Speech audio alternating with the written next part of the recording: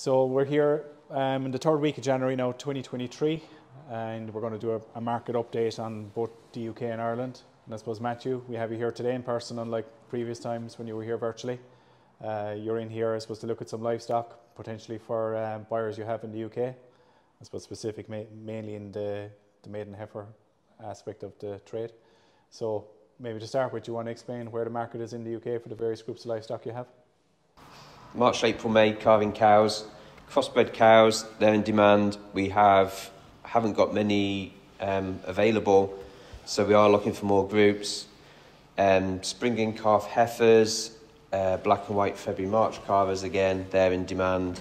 Um, prices for the in calf heifers are in the region of 12 to 1300 pound, and the cows are something similar. Have they increased in price? So prior to Christmas, I think they were maybe a bit off that.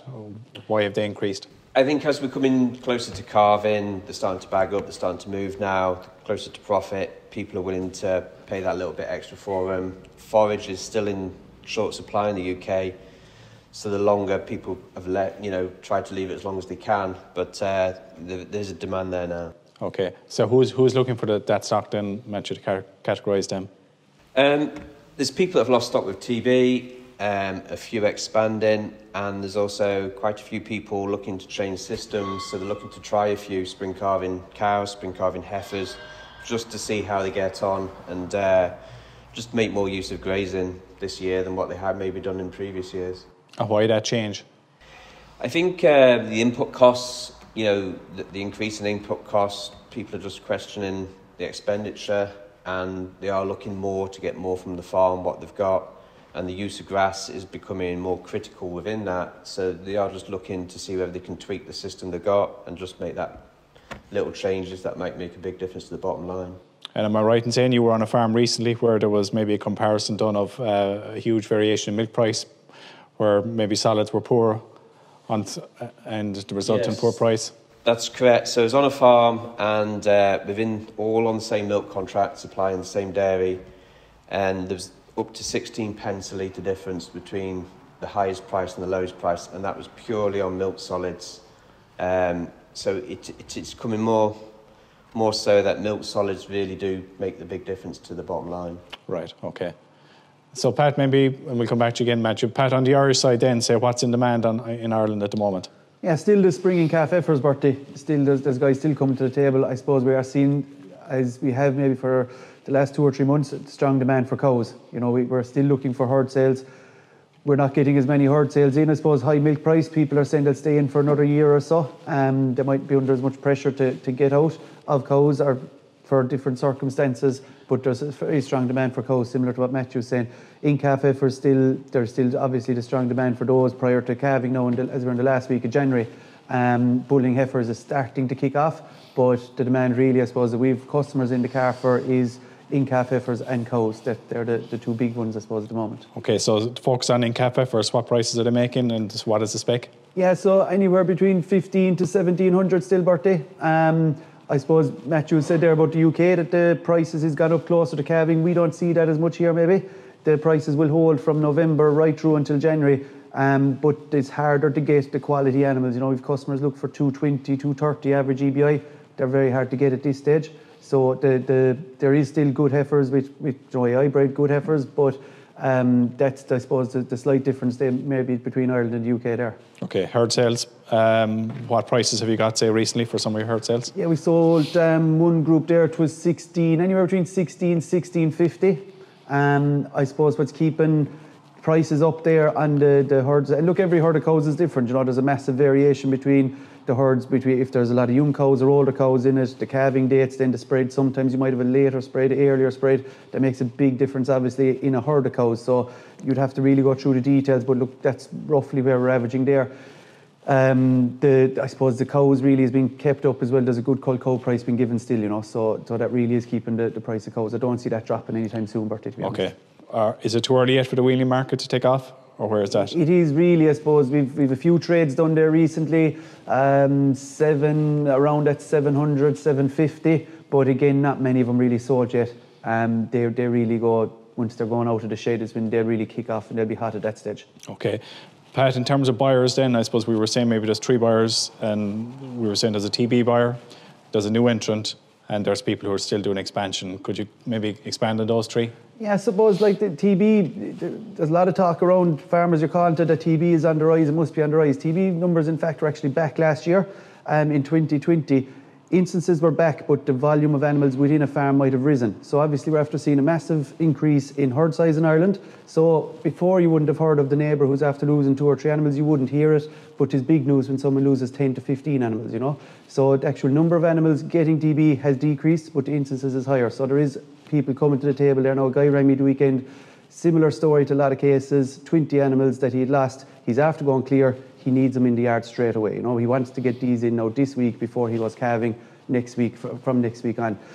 Um, again, going back to the cull cow price, so I suppose guys are seeing that they're getting high prices. They might have milked on cows and kind of fattened them as they were milking them through the winter, and they're looking to replace those as well to upgrade, maybe get better stock, get rid of the empty cows or the poor performing cows, and uh, bring in young stock there as well. And then you have guys, I suppose, maybe we'll call it last minute that are after getting an extra bit of ground or just looking for maybe another 20 animals because they have that extra bit of ground got or you know different different situations there. I suppose that people are looking for just increased numbers slightly. Have we more new entrants inquiring than we had last year? This time last year? Yes, I would say short answer yes. Yeah. Why? I suppose milk price last year. It's hard to hard to ignore it if you're if you're in a different system you know, it's, it's hard to ignore inputs like if you're looking at beef and tillage and that inputs have gone up as well. But um, so milk price is, is, dictating everything, Bertie, I suppose. Yeah, and less of a handbrake maybe from co-ops. They're willing to take on a few more because there's probably people getting out on the other side. How would you describe the mood in the sector at the moment? It's all positive, Bertie, I suppose. We're seeing it at the moment. Like there's great demand there. There's a, there, there, I was at the Positive Farmers Conference, we the Grassland Conference last week. Mood is positive. Um, mood is positive in general. People have, yes, milk price is probably going to come back next year. I think farmers in a good place overall. Okay. So, Matthew, to follow on from Pat's question there, what's the mood in the UK dairy industry like currently? Again, uh, the mood in the UK is positive. Yes, we all know there's probably a milk price drop coming, but input prices have pulled back a bit this last few weeks. People are adjusting their systems to the new price, and it's taken a good 12 months for them to really take that in board. Um, but sentiment's good. Sentiment is good. Um, you know, good grass here now will put people in a lot of good place. Um, traditionally, we would have probably been exporting quite a bit to the UK in terms of cows and stuff like that, Matt. Did you see that happening this year, or, or what factors might affect that currently are you seeing? I, I think that the high cow prices in Ireland, the currency, and the transport costs might just put the Irish cows a little out of reach to the UK buyer. Um, there's buyers there, and Pat, you can probably answer this better than me. Is, is the cows here going to be available for the UK or? Yeah, not I. Honest opinion, February calvers it will be a no, but I think that we'll still have the, the March April calver. We can still we'll still get them over to the UK. Um, traditionally, we sell an awful lot of those animals to the UK. Maybe in a fortnight's time, they real they really kick off. But I don't see February calvers going over. Again, similar to yourselves, cows are in demand here. You know, people want to, they just want the, the mature milk rather than the heifers. So there's strong demand for cows at both sides, really, isn't there? And would that be dry cows available, or would that be the, the big calved now and available as calf cows? Yeah, both, Matthew. I suppose the, the calved and we always see. I suppose look, the, we always see it that the farmers they've kind of their cut off date. So then anything calved after that they want they yes. want out of the out of the yard. But they're happy to calve them down. You know, especially maybe if they're getting close to calving, we're obviously not going to move them. So they want they, they would be happy to calve them down and move them then as freshly calved. But they will have started breeding, so they know that the cow that is calved and they're starting breeding at the other side. She's not going to make it into the system the following the following year. So they, they're coming available then. So maiden heifers are probably a more realistic option in terms of potential demand, maybe in that North Wales area or some of the Yes, I think they will. Um, you know, there's quite a lot of new entrants going into into the business in the next two years within North Wales. So, calves, well-bred calves, and maiden heifers will be an option for them. Um, again, I don't think there will be enough in the UK to supply that, and we'll be looking towards Ireland again to do that. Um, and availability will be here. It will be here again, yeah. It will be, as I said, it will be, it will be um, we'll say once the main block of calving is over, farmers don't want to see us in the yard for the first week or two of February. So it gives us a chance to draw our breath and get ready then again for the next season as we see it kicking off again. So that will be the bulling heifers there. They'll be going out of the Jull. Hopefully, place will have dried up. and uh, they'll be going out to grass then at that stage, and people like to get them in, get them vaccinated before they, they go breeding as well, you know. And uh, briefly, Matthew, why North Wales? Why, why the potential there for expansion, or why, why the appetite there for it? There's um, in the past there's been big expansion into dairy and from beef and sheep in North Wales. They've done very well. I think neighbouring farms have seen that and seen how they can progress. And you know there is a big trend going from more sheep and beef to dairy. Um, they they favour the crossbred cow in North Wales because the train is a little bit more harder work. Um, but the growth sector's there. There's there's dairies there that will take spring milk. Uh, there's a new dairy being set up that will take spring milk. Um, there's a big growth sector in North Wales. Okay, and we probably have seen that with demand for our other services with mapping and, and design of yards and stuff like that. So we're, we're, we're seeing some elements of that demand as well. Yeah. So just to finish, Matthew, and I'll ask Pat as well.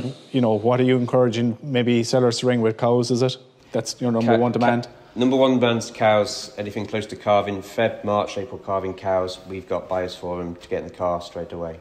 Yeah. Pat. Cows as well, herd sales. We've, we've a lot of guys looking for herd sales and looking to do forward deals on herd sales as well, I would add, Bertie. So where the customer would go and look at the cows now and take them once they've calved down, agree a price now. And I suppose it just takes the, the pressure off the seller that before they get into the trenches of calving that they know that um, there's, there's light at the end of the tunnel, I suppose, that there is a customer there for them. And again, for the buyer, it just secures the animals. They don't have to be worrying about it um, and not thinking about it. It is a job done, you know, Yeah. and mo- move on with the other work that they have on farm. Yeah, and I suppose it goes without saying, Pat, there will be a lot of calves coming available now in the month of February, March, that you will have people maybe with very good quality calves, heifer calves, for Yeah. people that might want to. Yeah, so we, we have, I suppose we've lot that will happen traditionally. We get a lot of calves coming to us. Um, I suppose with the herd builders um, offering that we have as well through Grasstec, I suppose we're seeing customers there who look and improve the genetics, you know, and the fast way, the fastest way is to put animals on the ground rather than, you know, going through inseminations and maybe the, the genetic, genetic merit of the cows mightn't be suitable or mightn't get the kick that they need. So we will have a lot of very good calves coming at us and uh, we're taking listings of those, Bertie, I suppose, and with the herd builders, then we'll, we'll potentially have buyers at the other side then. So I suppose the animals would have to be genomically tested, um, you know, for to guarantee the, the, the sires and to get the, the correct PTAs, I suppose, for the potential buyer. Um, but yeah, with hopefully there now that, that that will kick off there in the next uh, three to four weeks. Very good. Okay, thanks for your time, lads. Yep, thank you.